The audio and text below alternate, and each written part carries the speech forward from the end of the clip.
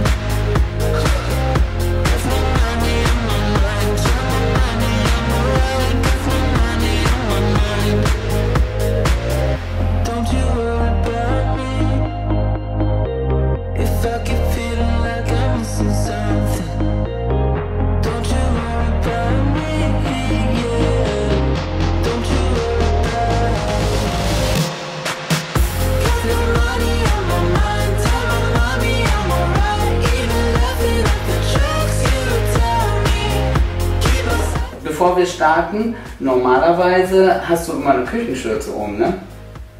Mm, Ich habe mir schon einige Pullover verdorben, weil ich ohne Schürze arbeite. Deswegen trage Zeig ich diese. Baumwollsachen. Die kann ich mal. richtig gut waschen. Oha. Ach, guck mal, Oma, da sind sogar zwei. Ja, Dann machen wir uns jetzt erstmal schick.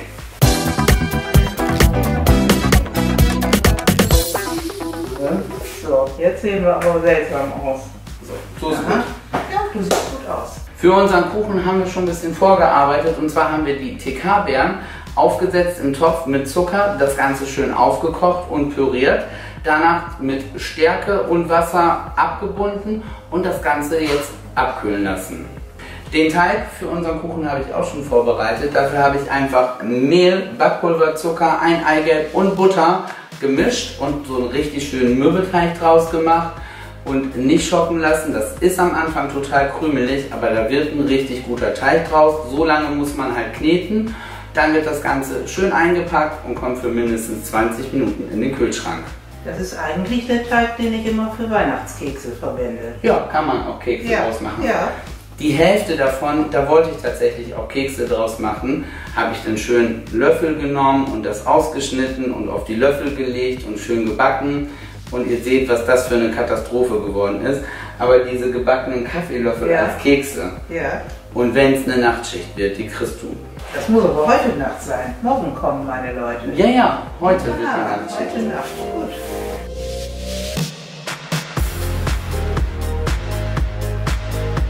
Ja, das ist ein richtiger Keksteig. Genau. Wunderbar. Das ist sozusagen der Untergrund für unseren Käsekuchen, weil du hast dir den ja aus so einer Zeitschrift ausgesucht. Ja. Und Oma hat sich so einen richtig genialen American Cheesecake ausgesucht.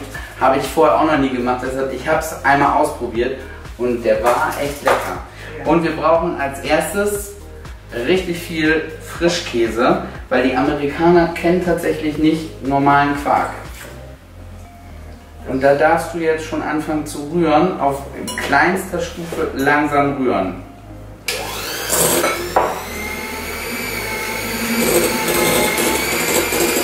Und während Oma jetzt rührt, kommt nach und nach vier Eier dazu.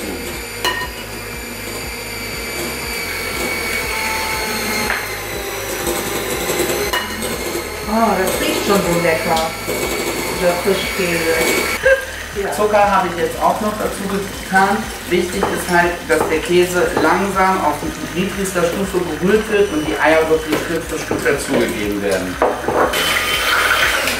So. Schürze war ganz angebracht. Schürze ne? auch, aber meine Brille ist auch voll gespritzt. Aber wir sind noch nicht fertig mit Brille. Wir müssen Ja. ein bisschen spritzen. Also und danach machen wir erstmal Brille sauber. Jetzt kommt nämlich weiße Schokolade damit rein.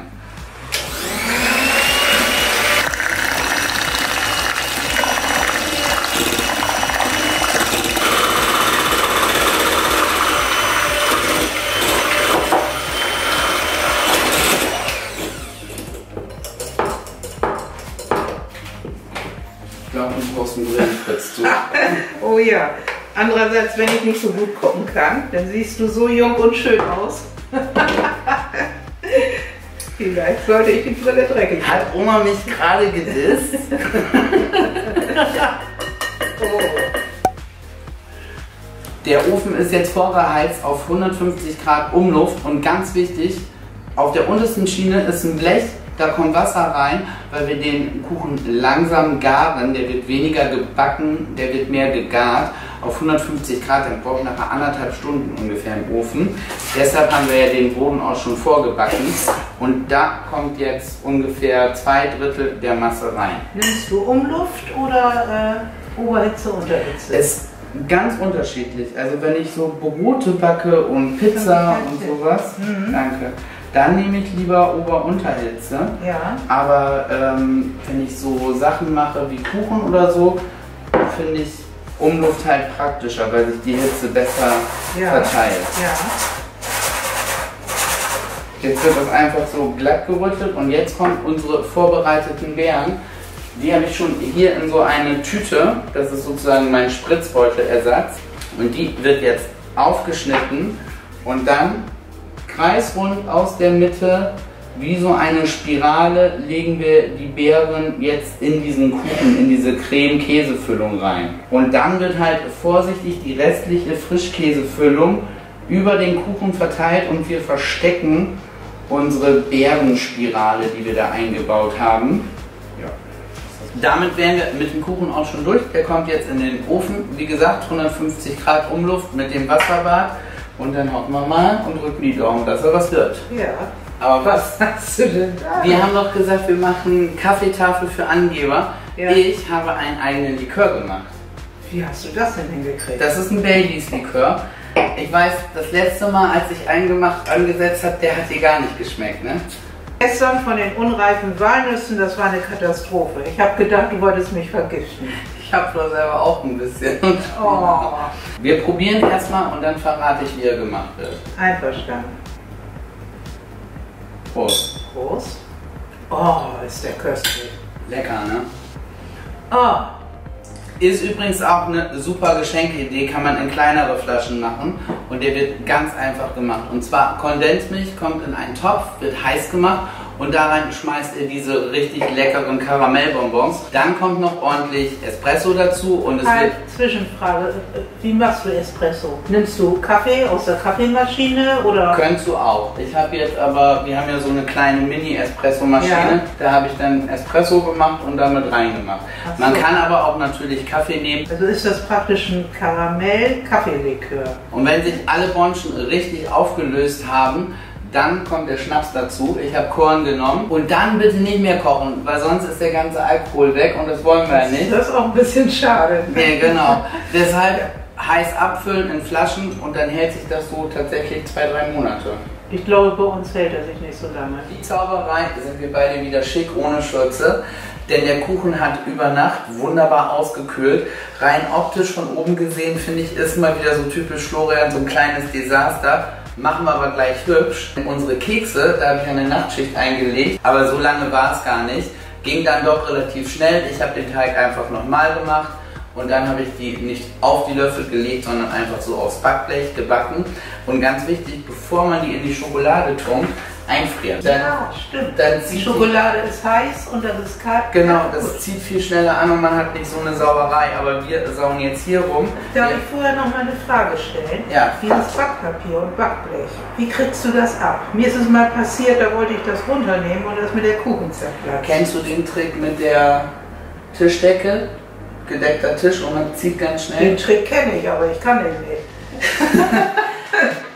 Die, die Chance ist jetzt 50-50, dass es klappt. Das möchte ich doch gerne mal sehen. Das interessiert mich Ich wirklich. ziehe hier so ein bisschen hoch und Ja. ziehe den Kuchen so ein kleines Stück rüber, Ja. so dass er nicht runterkippen kann. Wirklich Ja. nur so ein, ein, zwei Zentimeter und klappt das Papier nach hinten hin und dann relativ flach in Position bringen, Papier festhalten und das Papier unten drunter so wegziehen. Ja, das habe ich nämlich noch nicht geschafft. Also ich habe es aber auch schon mal geschafft, dass der Kuchen dann sich einmal gedreht Ja, hat. und ich habe es geschafft, dass er sich auf die Hälfte geteilt hat und ich musste ihn kleben hinterher.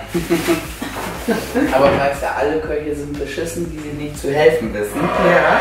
Und ja, wir hübschen den jetzt mal richtig auf. Dafür haben wir hier schon Wasser gekocht. Ich habe hier nämlich so ein Instant, wie heißt es, Tortenguss, ne? Komm her, darf ich? Ja. Ich mag es allerdings nicht, wenn er so ein Obstkuchen ist, da liegt dann schönes frisches Obst drauf und dann wird es komplett damit übergossen. Das, finde ist schade. Das, das- sieht so unnatürlich aus. Ja, und es ist auch nicht lecker, meine Meinung. Wir benutzen das jetzt nur als Klebstoff. Und jetzt ist halt der Trick, der Kuchen ist kalt, die Früchte sind kalt. Und jetzt nimmt man die einzelnen Früchte, taucht die so ein bisschen da ein in den Klebstoff und klebt sie auf den Kuchen. Und je weniger man drüber nachdenkt, umso besser sieht es nachher aus. Ach so, nicht jetzt irgendwie ein symmetrisches System oder was? Gar nicht drüber nachdenken, einfach wild drauf los. Ja, also wenn das jetzt noch so weiß aussieht, möchte ich die nicht. Nee, das ist zwar so ein bisschen Schmiererei, Ja, ich merke das schon. Ich aber du klebe. machst die zu viel. Ja, da, der ist mir aus Versehen Ja, reingeflutscht. dann darfst du den da zur Seite legen. Wir wollen ja einen Angeberkuchen machen, der muss ja ein bisschen. Aber ich finde, der sieht schon mal toll aus. Ich gebe sowieso mit deinen Kochkünsten an. Mit meinen kann ich nicht angeben. Unser toller Very Berry American Cheesecake ist fertig. Der Topfkuchen ist fertig, also dieser Marmor-Nutella-Kuchen ist fertig. Die Kekse sind fertig. Der Likör ist fertig. Was fehlt noch? Tisch.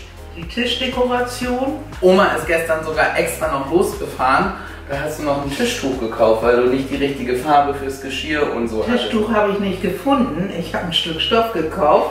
Auch ich habe heute Nacht was gemacht. Ich habe daraus eine Tischdecke genäht. Ja. Also, also hier ist wirklich mal heute High Quality Content. Ich zeige euch das gleich natürlich auf jeden Fall, wie unsere schöne Kaffeetafel aussieht. Ich hoffe, es hat euch gefallen. Wenn ja, lasst uns gerne einen Daumen hoch für dieses Video hier. Schreibt uns fleißig in den Kommentaren und lasst Oma mal ganz viel Liebe hier. Würde, würde ich mich auch drüber freuen. Ne? Oma liest im Moment gebraucht. ja, und Oma liest auch immer alle Kommentare. Das wäre dann schon fast alles. Kanal abonnieren, aufs Glöckchen drücken, dann seid ihr beim nächsten Mal auch wieder mit dabei. Und ab und zu wirst du mir hier jetzt assistieren. Ja, du hast es ja gemerkt, ich brauche dich unbedingt, um sowas zu fabrizieren. Was ich nicht kann, kann er. Und was ich nicht kann, kannst du. Vielleicht. Ja, Gut, also wir wollen ein Team werden. das ist sowieso. Gut. Das ist sowieso. In diesem Sinne, ich sag Tschüss und Danke. Und